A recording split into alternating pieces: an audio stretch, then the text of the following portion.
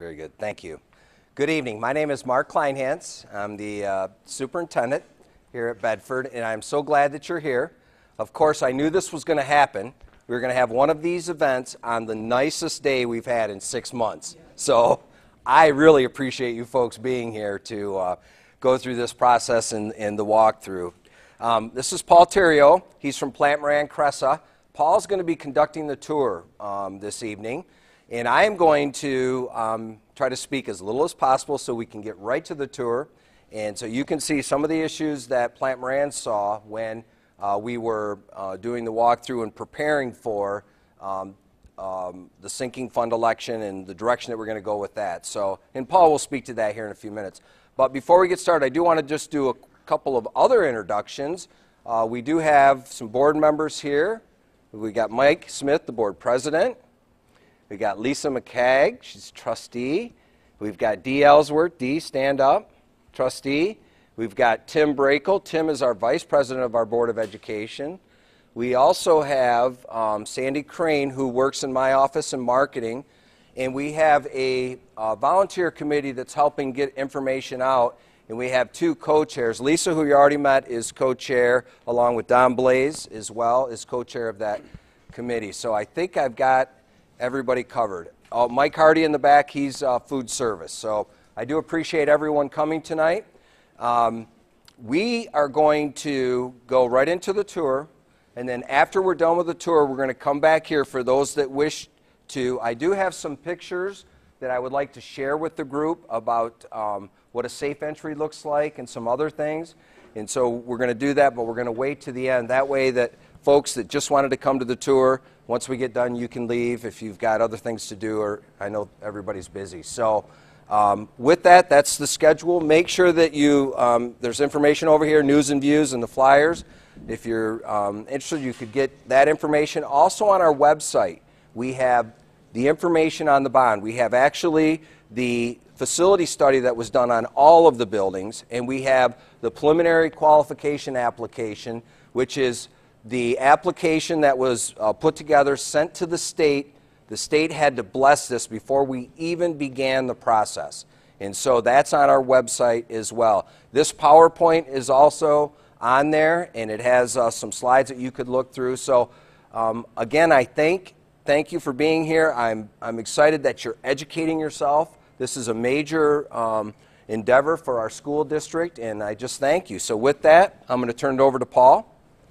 Great. Uh, as Mark mentioned, I'm Paul with Plante Moran Cresa. Uh, we were engaged by the district uh, originally to uh, do a facility assessment of all the district buildings uh, as part of the sinking fund projects to kind of give a roadmap for the next 10 years of what would need to be done.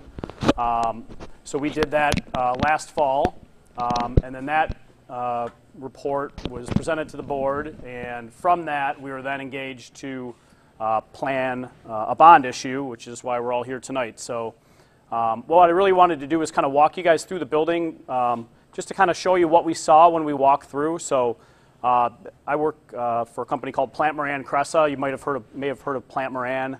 Uh, they're one of the, I think, 13th largest uh, accounting and corporate services firms in the country. The uh, group that I work with, Cresa, we actually do program management. Uh, so we manage large construction projects. some of them, for instance, would be like the Detroit Medical Center downtown. Uh, a lot of uh, K-12 bond issues. Uh, right now we're managing Livonia Public Schools $195 million bond. we also do um, a lot of municipal, government, office, industrial projects. So really we manage projects for clients like yourselves. So, um, so we came out and did that facility assessment. We were looking for, you know, code issues, looking for functionality of the space. We met with a lot of different people. We met with all the different directors from uh, the athletic director, food service, technology.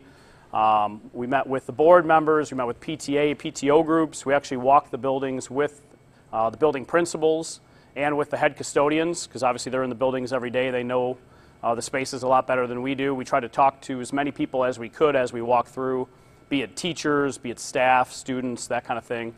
Um, so really, we tried to educate ourselves as much as possible about your buildings, how they function, their ages, their strengths, their weaknesses, that kind of thing. Um, this walkthrough tonight is, you know, in our report in general is not a, you know, indictment or a judgment or at any, at any level of, you know, what you guys have done with the facilities you have. I think the district's done great uh, with the buildings they had as far as maintaining them, as far as keeping them clean and orderly and functioning. Uh, It's really just the fact that these buildings were all built, you know, in the 50s, early 60s, uh, late 60s for some of them, but they're really all 40 to 50 years old, and it, it's really time to reinvest uh, in them and bring them up to current standards for a 21st century uh, learning environment. So um, today we're going to start probably in this room and then uh, go to the kitchen, hit some classrooms, down to the athletic wing, over to the Performing Arts Center. I think we might go outside too. Uh, we had talked about going out to the track and the stadium complex if anybody wants to head out that way since the weather's so nice, which we haven't had uh, that luxury yet. Um, I don't know, do we get a bus at all today or no? Okay, so there's probably going to be a new bus and an old bus, I think, out back.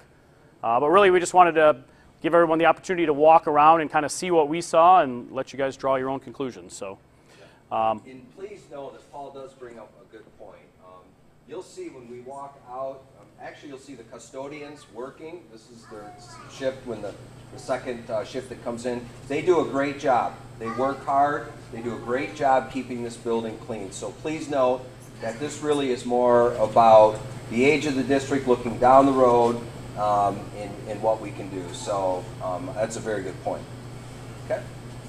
so I guess uh, Just a quick overview. Sure. Um, high school 9 through 12, about 1,500 students.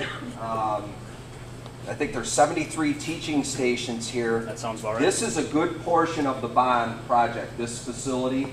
And it's because, first of all, it's huge. You'll see that in the walk through. I was here today walking around, visiting some classrooms and burning off some calories, that's number one. But number two, it also, this part of the project includes all the sites, the athletic facilities, you know, that all the buildings that the middle school uses, not just the high school, the auditorium, which not only the whole district, but the whole community uses. So when you look at the amount of, of the proportion of 30, approximately 30 million dollars of the 70 million on this site, please keep in mind, or on the high school, is, is because it includes the site and includes improvements in facilities that are not just used for the high school. They're used for community, for all, you know, for the middle school students, uh, all kinds of things. So I think that's important to note. Yeah, that's a great point. Um, so I guess just starting with uh, with this room, um, obviously uh, this room's not in too bad a shape. Uh, you got some operable partitions uh, over there that are still functioning, but certainly in need of replacement. If you look at uh, some of the mechanisms and fabrics and things like that, uh, you know, ceilings and lighting are a lot of things we're looking at throughout the building. Uh, replacing, we got some older inefficient light fixtures that need to be replaced. Um, as far as the kitchen goes, we're going to go walk back through there, but you can kind of see that the serving line area, and this is pretty consistent in all the buildings, but the cafeterias aren't necessarily too small, but the serving line areas that funnel the kids through to get them their lunches and food uh, are not really laid out very well and cause a lot of problems, which causes extra lunch periods and kind of cuts down on the capacity of those spaces. So why we didn't put a ton of dollars into actually buying devices in this. And the reason we did that is there's a reason because right now we're already paying taxes for the tech millage. And those dollars are going towards buying. I'm sure you followed the one-to-one devices that we're uh, that we're implementing. At, we started at six, and we're going fifth, seventh, and they're going to branch out. So, but there, however, in all of the buildings, there's dollars to put the infrastructure so that those one-to-one devices can connect and we can use that um, in our teaching and learning process. So new restrooms and team facilities out at the stadium, I talked about that. Main entrance, we hit that auditorium, we talked about that. Athletic, we hit kitchen, furniture, asphalt parking. Uh, we talked about the turf, track and field, and also there's a lot of money in this for lighting, and not just the lighting that we see in here, but parking lot lighting. There's we got a in the surveys we surveyed a bunch of folks. They said after a football game, when you come out or after an evening event, you take your life into your own hands, especially if they turn the lights off on you. So there's parking lot lighting. There's all of those kinds of things as part of this bond. So I wanted to make sure that we that we hit um, all of the things. Um, and then these are some other pieces. So, Paul, anything to add on that? Nope, other than all this information is uh, online on the school website. So if there's any questions anybody has as they're reading through it, we're more than happy to answer any and all questions. So uh, I think there's an email address on the brochure, I believe, of where you can send questions to. And then Sandy can kind of funnel them around uh, the appropriate party. So Yep. we want to be as transparent uh, as possible with all of this. We want to make sure that uh, everything is accounted for and, uh, and everyone does what they say they're going to do. So. Exactly. Um, now, as I promised, I want to show you some pictures of some safe entryways so you kind of get a vision in your mind. This is my old district that, um, that I used to work at. Um, it's a great small school district. Um, it's just north of Flint, Michigan. It's called, uh, it's in Montrose. The middle schools, the schools are all named after folks. This is um, pretty tricky. You're really, um, as a new superintendent, I love being here. This was a great school district, but this school district's great as well. And I want to make that clear. Um, so I put these pictures up only to show you what is possible and, and what some of the things are. This is the entryway to the middle school. And by the way, um, this was a $14 million bond project. That's not why I came here to do a bond project. Believe me, they're a ton of work. This came as a result of the facility study and that showing the needs of the kids. And as the leader of this organization, this is where we're at. But uh, Plante Moran, Cresa, and Paul worked on this project as well. So some of these pictures Paul will um, certainly see. This is the entryway to the middle school. And of course, work.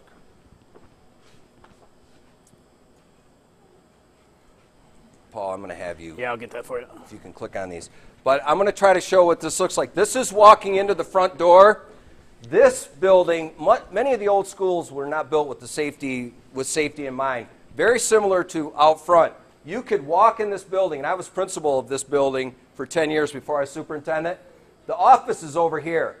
A person could walk in the front door, turn left. These weren't here and get to all of our kids in the whole building before we in the office even knew what was going on. So what we did, or as part of our project, is we put in the safe entry. We put these doors here, these doors here. We busted a hole into the office, and now, so when school starts, you have to come in this area, and before you can get to the kids, this is locked, locked. You got to go into the office. So that's an, a sample of a safe entryway. Go ahead and click to the next one. Uh, these are just pictures. The reason why I put it in here, you would be amazed. Someone asked me, you know, with these buildings being 19, you know, 64, for example, with this building, you'd be absolutely amazed what they can do with new ceiling tile, new lighting, and paint. This is the same age as, I think the middle school up there is the six, was Yep, built in the 60s. same vintage. About the same. So go ahead and click through. These are just some pictures. Go ahead, click. This is, uh, again, same thing. This is a hallway in the middle school. Keep clicking. same thing. This is kind of a walkthrough Kind of a area. common area. Yep. Okay, this is going into our high school. Keep going. This gym, this is a high school gym, and I was talking about what can be done. It is amazing what the architects can do when they have this. This gym was built in 1960. I had a superintendent walk in here and tell me, How did you get your community to support a new gym?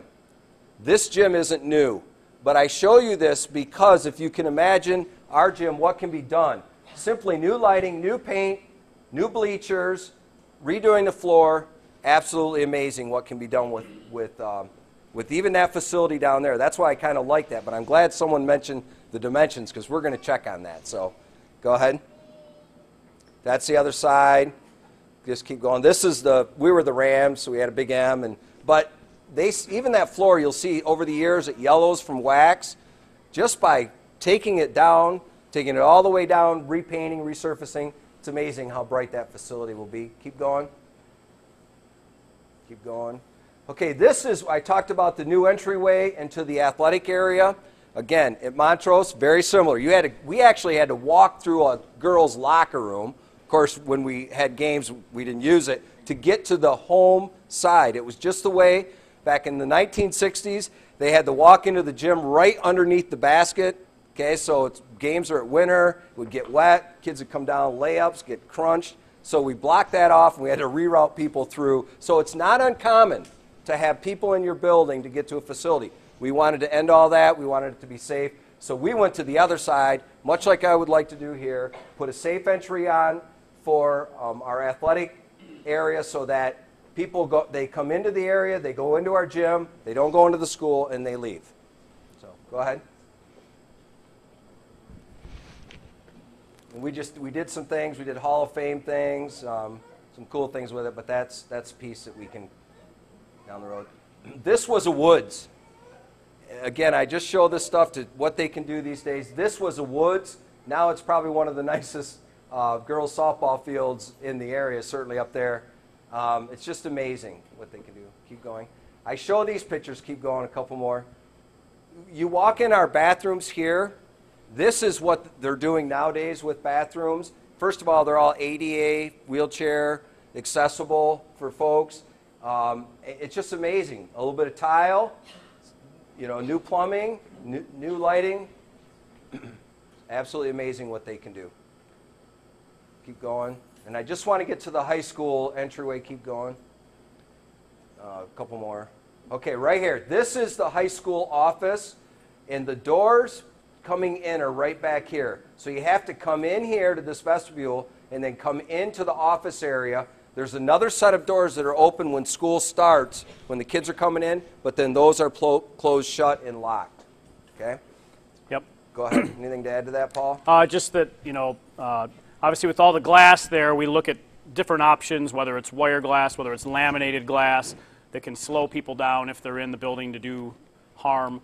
Uh, there's ways to keep them in that space a little bit longer so that a panic button can be hit, 911 can be called, that kind of thing, to try to make it as safe as possible. So, Yep. Go ahead and click a couple more. This is just the office space. Go ahead, click, click. And I just so, show this picture right here because the other question I get asked is why don't we tear down this high school and build a new one as part of this bond? And my answer to that, first of all, to build a high school, it's about 70 million. So all of the dollars would be right here.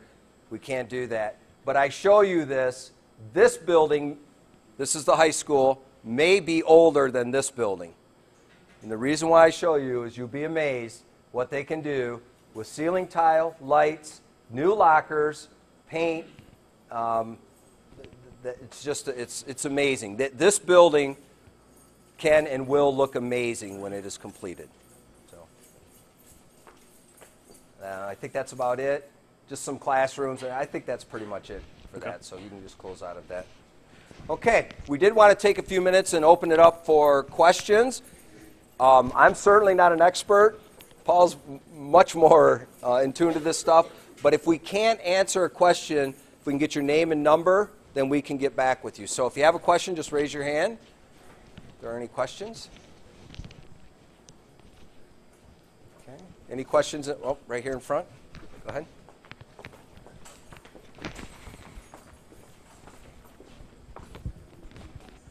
You know, clearly what we've seen has been um, a very nice vision, no two ways about it.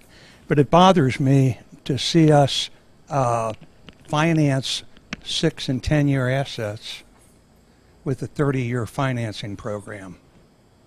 Uh, it, Good point, it strikes me that that uh, that that's not the best way to, to And that is manage great, our, our money. That is a great question. Can I repeat it so everyone can hear it? Okay, the question was um, using 30 year bond dollars to fund six year useful life. useful life items. And that's a very good question. I think you're referring to the buses, probably, correct? The buses, the track, AstroTurf. Uh, T- turf, there's okay. finishes, a lot of things. Okay, very good. Yep, so I can address that. So um, when we put the bond application together for the state, that's one of the calculations that they have us do, is to go through and look at what are the five-year useful life uh, items, and some of the five-year things would be like uh, computers, uh, things of that nature. Buses are about six years. Um, there's 10-year useful life items for like technology infrastructure, things like that. Uh, flooring is different than roofing, is different than site work. So we actually have to go through and run a calculation on the entire bond, on every dollar, and figure out what is the average useful life of that bond, uh, of those of those items, and then run a calculation and prove to the state that, the, on average, that those uh, improvements are going to last longer than the 30-year term of the bond, or if it was a 20-year bond, or whatever it might be. Not only that, but we also have to pay back each piece. So if there's $2 million worth of five-year amortization items, we have to pay back those $2 million within the first five years of the bond. So not only do the bondholders want to see that, who are actually uh, loaning the money, to, and they want to make sure they're going to get paid back, so they want to make sure that that's the case, but the state requires it. It's absolutely mandatory that that, that is the case. So we did run all those numbers. I think the average uh, for the entire bond was somewhere around 37, I think, 35 or 37 years. So we did meet that requirement. That's a good point. Very good question. If I may, and I don't want to sound argumentative, sure. but you know, when we start talking about averages, it's like the guy with his head in the oven and his butt in the refrigerator. On average, he's okay. Okay. Right. You know, the fact is that this community is going to have to pony up whatever amount of money to replace the buses, whatever amount of money to replace the track, uh, and that that's that's where my concern is that Sure. that regardless how the state sees it, the fact is someone's going to have to cough up money in between here, and we will have encumbered ourselves pretty substantially with this 70 million. Yep, you will, absolutely. Um, I guess the thing I would add to that is, um, we will pay for them as we go, so the buses will be paid off within six years, et cetera. The other thing is, if the bond doesn't pass, right now, I think the average age of the bus fleet is about 14 years old. Um, the bus, what is it? 15 years old. So whether we pay for it with bond funds or pay for it with general fund dollars, the buses need to be replaced. Buses aren't going to last much longer than you guys have kept them together already. Um, you know, mechanical systems that are 50 years old plus, they have to be replaced at some point. I know no one likes higher taxes. No one necessarily wants to pay for some of those things, me included. My millage rate in my district is over seven mills or is seven mills. So um, I don't like that necessarily either. But the only funding mechanism that the district has at their disposal is a bond issue or a sinking fund. And we started this out originally as looking at could we cover these costs with a sinking fund and found out that it was much more than the sinking fund would support. And that's why we're here today. So whether the community pays for them with a bond now or in two years or in three years or in five years, these bills are coming due and they need to be addressed one way or another. So I don't know if you have anything to add to that, Mark. No, I think that's good, and, and that is a good point. We're cognizant of that, and um, but certainly with the transportation piece is probably the best example.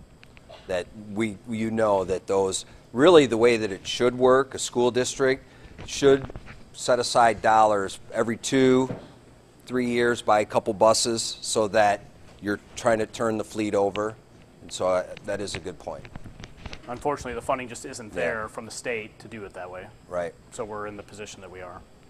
When I do understand those situations, I was on the board back in the 80s, and we Oh. went through some 80s tough with times. tough times. But, yep. uh, nonetheless, you know, we, we need to, the buses is a good example. Uh, we can replace the entire fleet right now, and 15 years from now, we'll be in the same situation we're in if we don't figure out better ways to manage the investments. Yeah, you're exactly right. Absolutely. Now, one of the things I Couldn't will agree more. speak to that, and I certainly would sit down. Um, one of the things that I brought to the district um, from my previous district was a, a budgeting tool. Not sophisticated, Excel spreadsheet. Took the CFO and myself about three months to complete. The, the reason why I bring that up is I certainly would share that with you and let you know that and show you at least how I view a budget. When I arrived, not that it was wrong, but the budget here in this district was 60 pages, just a ton of line items. And to me, I'm sure it worked for someone, but I just couldn't make rhyme or reason of it. So what I spent my first few months here doing was taking that budget and breaking it down by area so that I can tell you in the in uh, Jackman Elementary we have this many teachers. Right here's their salary. Right here's the FICA that we pay on that salary, the retirement, the health insurance. We have that all broken down. And the reason why I, speak to that is that is a tool that this district will have and that the Board of Education, I actually gave them an in-service on it. Surprised they didn't throw me out on my ear, but um, because it was kind of long and it was it was kind of boring with just dealing with the numbers. But my goal really is to use that tool so that we can make better financial decisions. And I'm, I'm sure you're kind of catching up. We believe, we say we're cautiously optimistic that we will be coming out of deficit this year. And we use that because Lansing, if you're a board member, you know they could make one decision and we'd be sunk again. But so we have to use those words. But we believe that the decisions that have been made up to, to this point and using this tool, again, it, a lot of it depends on Lansing that uh, we can do that. It's just like I use the example of the turf. There should be dollars. In, in our current budget right now, there's $45,000 for capital projects. That doesn't even cover a, a boiler. 750,000 square feet. Yeah. So you're right that your point, and it's well taken, that we need to, and I, um, my goal is that with this tool to do that, to be able to earmark funds and do a better job of planning and looking down the road so that we don't find ourselves in, in this situation again. You're right about the buses, though. Even if we, for example, if this passes, there's, there's enough for 20 buses, right? That's what, there's 20 buses plus four in this package. You probably wouldn't want to go out and buy all 20 immediately because you hit it right on. 15 years from now, you need 20 buses. So mm-hmm. you probably would want to stagger them out. And then the idea would be that every you know couple years, the school district invest in two or three new buses and budget it that way is probably a better way to go. So that's a very good point. But you can certainly come in and I'll show you that if you're interested, and I can go through that the, the format. Okay. Great, great comments, great questions. Are there other questions? Yes.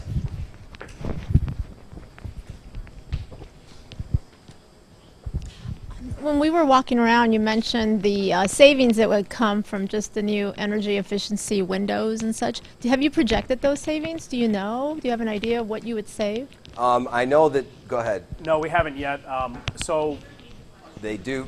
have we modeled the energy efficiency that we think we might save from all the new improvements? So that's a very complicated question.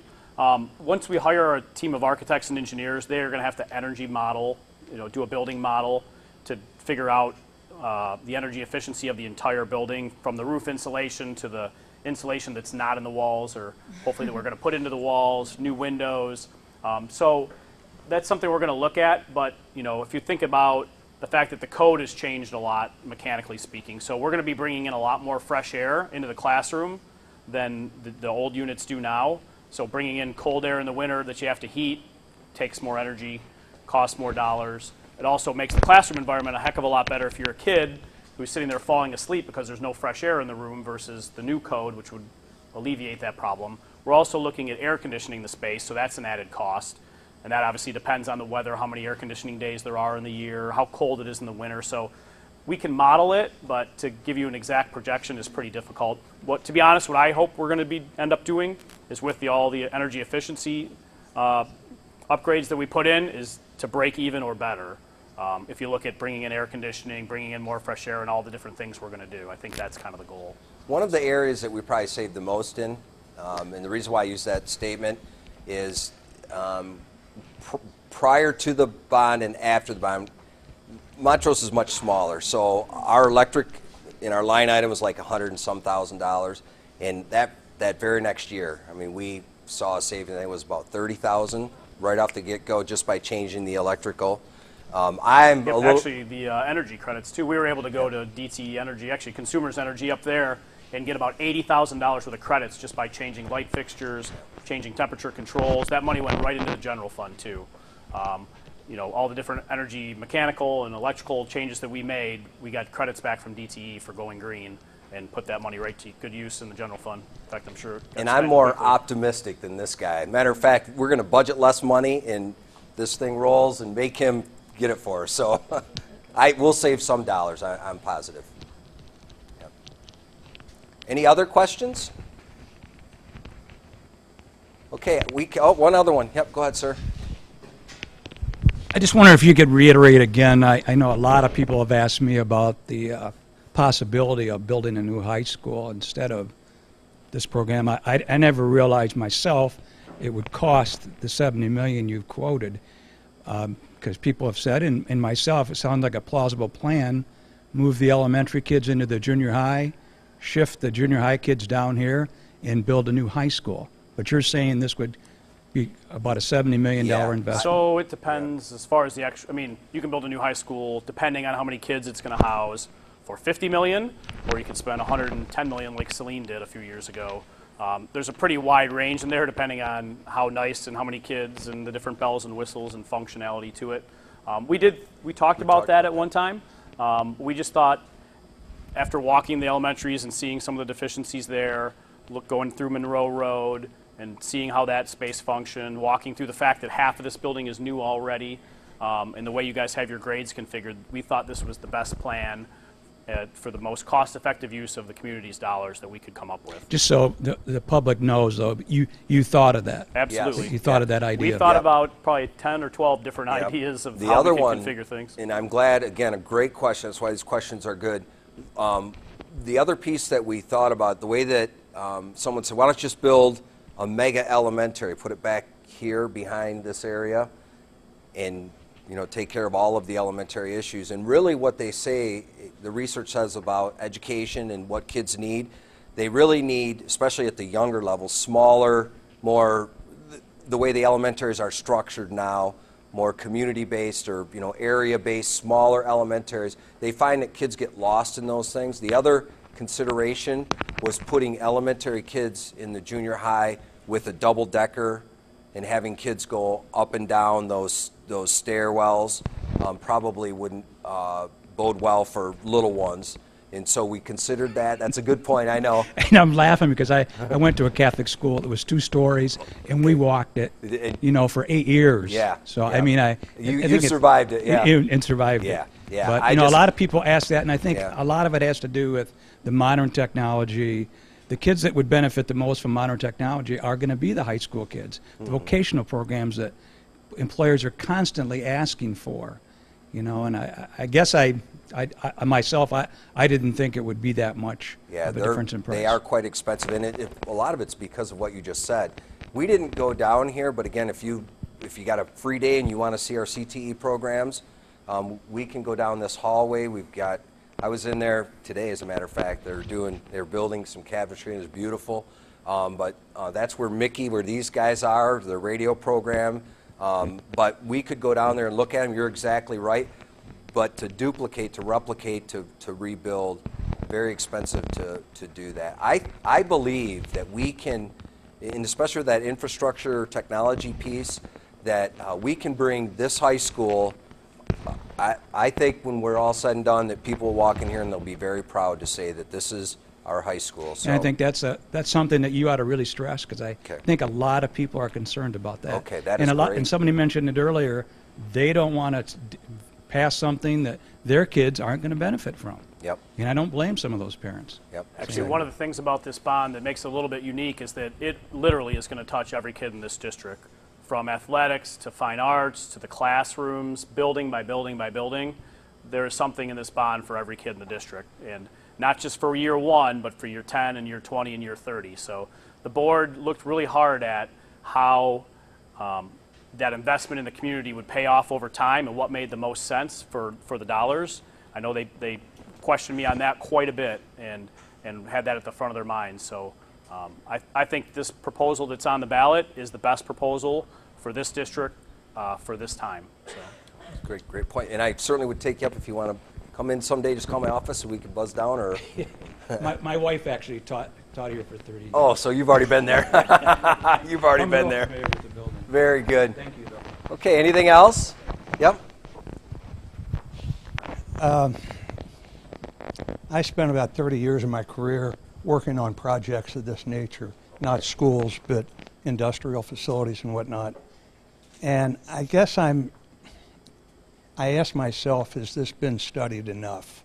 Uh, that $15,000 represents about two one hundredths of a percent of the project. And I know in, in other projects that I've been involved in, uh, we did a lot more front end.